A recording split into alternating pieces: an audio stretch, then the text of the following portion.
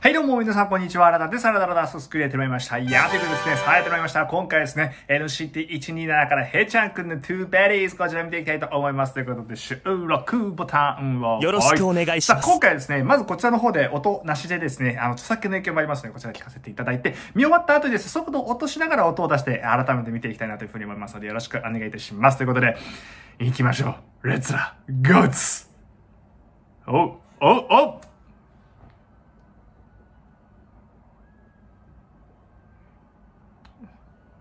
おおジャニーさんと共に。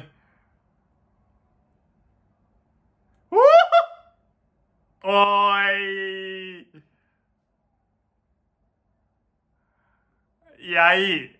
いい。おお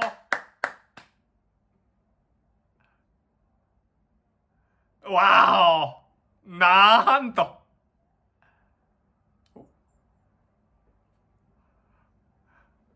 うーん。おー。来た。い、いい？おー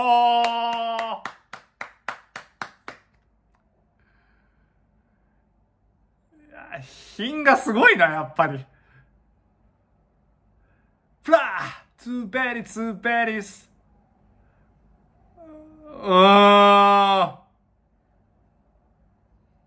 ポルシェじゃないですよね。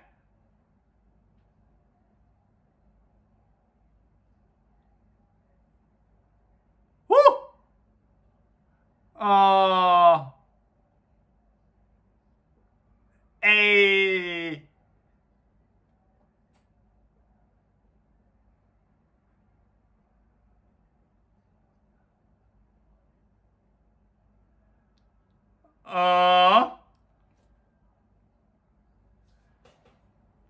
え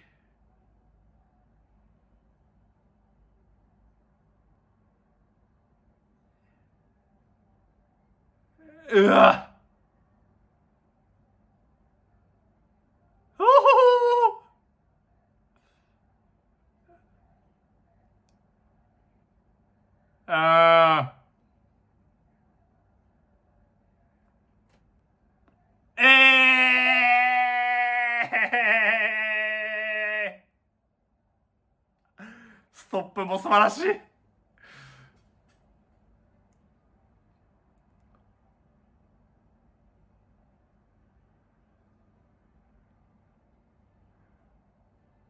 うん。うん。うん。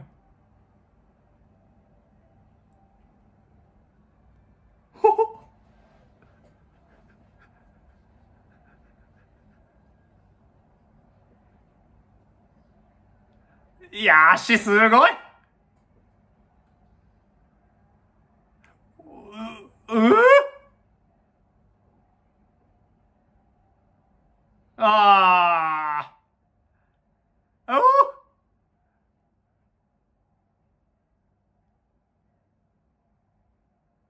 ああ。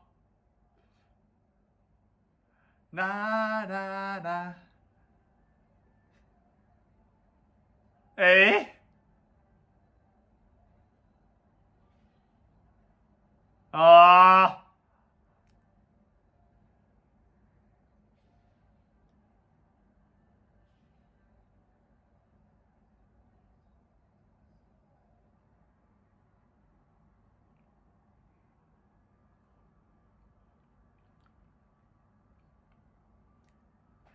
すごいすごいな。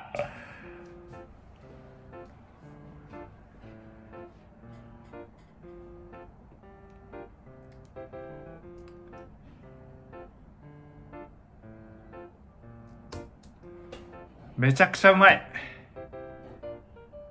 どうなってるんだ？この踊り方は。腰の位置よね。膝下が長い。あの、足ブンブン蹴るところあったじゃないですか。膝下が長いのよ やっぱちょっと普通の人の企画と違うシルエットじゃないですかあの芸能人の方たちって。の中でも結構ねあのとんでもないスタイルの持ち主かなとは思うんですけどやっぱ腰の位置が高いとこう見えるんだみたいな。このね入るよね。うわ下に打ちつけるような感じですかね。ちょっと衝撃をねヒット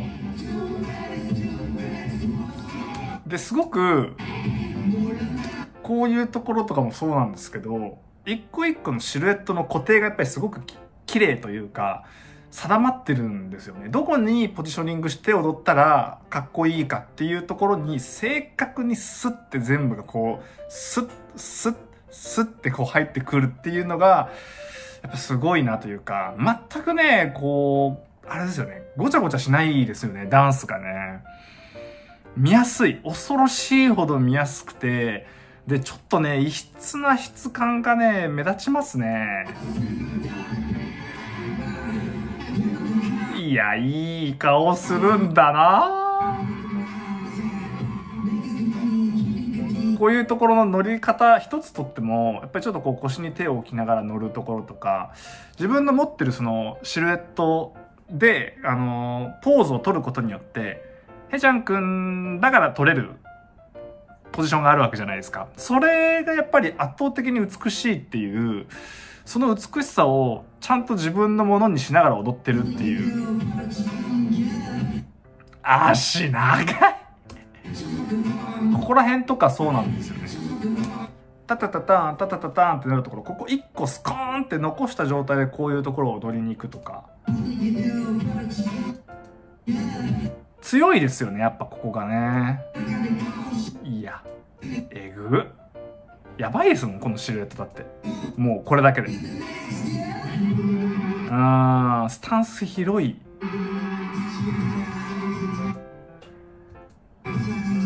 今のこのスンって通るところとか、上の感じかなしっかりしてるんだよなこういうところとか。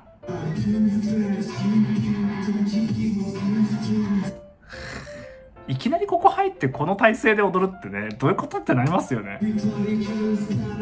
本当に完璧なぐらい綺麗。マジで。きたきたきた。ちょっと入る。ちょっとしたダンサナブルな雰囲気。ニュアンス。ここもよ。この顔がねここに残ったここに残った状態でこのまんまこういう風に移動できるとか綺麗なのよ本当に。弾く方綺麗ここら辺とかもさらっと踊ってるんですけどね。不思議すぎる。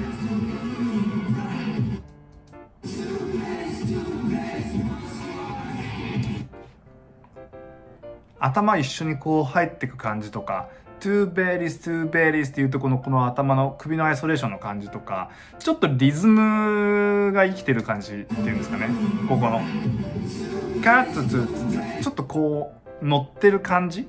ノリの感じ？ウィーンウィーンっていうよりかはトゥツツツカっていう風に乗ってるっていうニュアンスをちょっとだけ織り交ぜながら踊ってくヘッドロールも一緒にクーって入れながら回していく。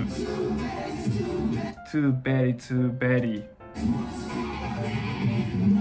スタンタンタタンの部分手を下ろすところとかもここ1個パチン止めた状態でやっていくところとかうまっうまっ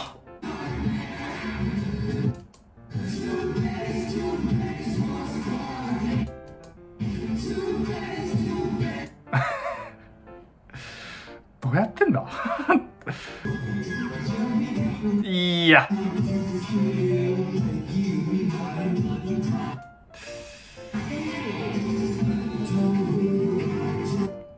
この上半身折った時にこんなに足長く残るってあります？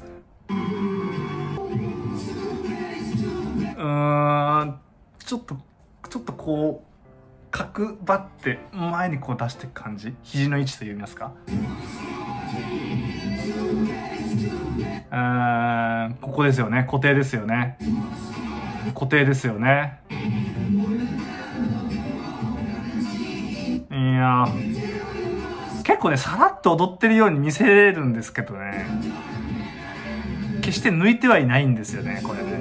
これうまこれうまちょっと横顔テヨンくんにも見えてくるというか。この感じ。ちょっとテヨンくんっぽくないですか？まいなこのここの胸の起伏みたいなものと膝の入れ方とこれもね決してね大きくはないんですよ。大きくするところではないよねというかなんかね分かってらっしゃる。あの絶妙なラインを分かってやってらっしゃるなっていうのがすごく伝わってくる。でここのストップですよね。ピタって止まるところ口元だけその歌に入ってますけどツタツタツタタドダダドダデドダダっていうこの感じとかね。ストップの質感っていうのもすごくうまいなっていう風に思っててうわーって動いた後にピッて止まった止まりの持続性みたいなところはやっぱちょっと恐ろしいというか。このこの感じですねこの感じですね。でこれちょっとふわっと抜く感じね。今のこの抜きは今まで多分出してない質感になるんじゃないかなっていうふうに思ってその固めていくところ結構まとめて踊ってるんですよね。だからさっきも言いましたけどそのこのポジションに手を持ってくるこのポジションに頭持ってくるみたいな。完結させるんですけどここってファーって解き放ってるんでこのポジションっていうのが多分ないんですよね。その代わりこう軌道で見せていくみたいな部分で軌道でファーって回ってうわうわーってやるんだけどジャケットピッピッてやった時に位置を戻すみたいな。うーん。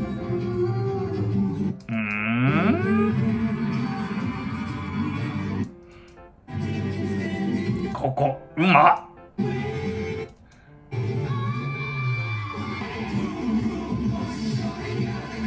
ここやばくない？この足の蹴りやばくないですか？これをスンってやるんですよ。すごいな。いや、かっこいいな、そして。ここね、このニュアンスやばいですよ。このブブブブブって揺らしていくところと下ろしていくところの、ここのダンス、どこに力入れて何をすればいいのかまだ正解が分かってないんですけど、この揺らしの質感と抜きですよね、ここだから。抜かないと揺れないじゃないですか。こうなっちゃうんで。揺れるっていうためにある程度力を抜かなきゃいけなくて、抜いてるんだけどやっぱ軸が強いっていうのはまずあって、ここでパチン止めた、ここ。ダダダのところの強さ軸のぶれなささ。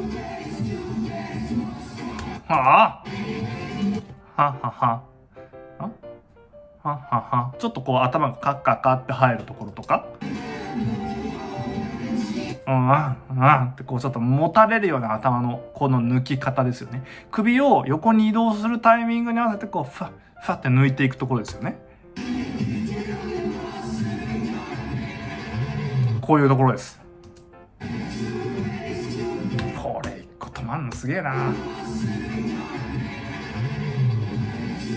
これ待ってるんですけど自分の番を。待ってる時の待ち方も本当にゼロというか。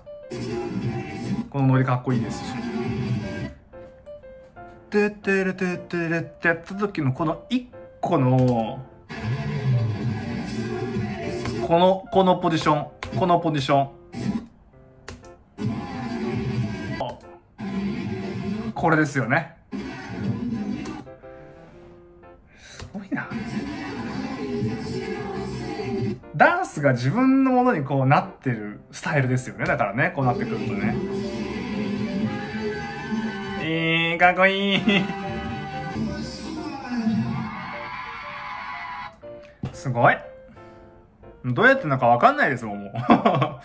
そのぐらい。だからもっってる、その割合の7割とか8割ぐらいのところの絶妙なラインで踊っていくっていうのが一個あるんじゃないかなっていうふうには思っていて、で、そこに対してのその自分がその入りチルの中でどのぐらいの質感で踊ることによってバランスが取れるのかっていうところの調整がすごくうまいなっていう風に見てて思いますね。だから結構こう、うわって出す人と、うまくこうバランス見ながらそこをこう、えー、整えて踊りながら、あ整えながら踊る人といるかなっていう風に思ってる部分があって、その中で言うとヘちゃんくんは結構、どっちもいけるというか、で、かつ整えながらもいけるし、うわって出す方もいけるしっていうところの、その駆け引きといいますか、どこで出てくるんだろうみたいな。で、その整えながら踊っていくところのニュアンスもめちゃくちゃやっぱりすごいので、ちゃんとそこに質感が備わってるというか、うまいよねっていう踊りでちゃんと店に行けてるっていうところがすごいですね。一貫して。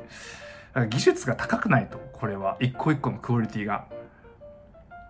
うますぎる というところで、皆さんの感想もよろしければぜひ下の方からいただけたらなというふうに思った方でございますのでよろしくお願いします。えー、ありがとうございました。よいしょ。つい。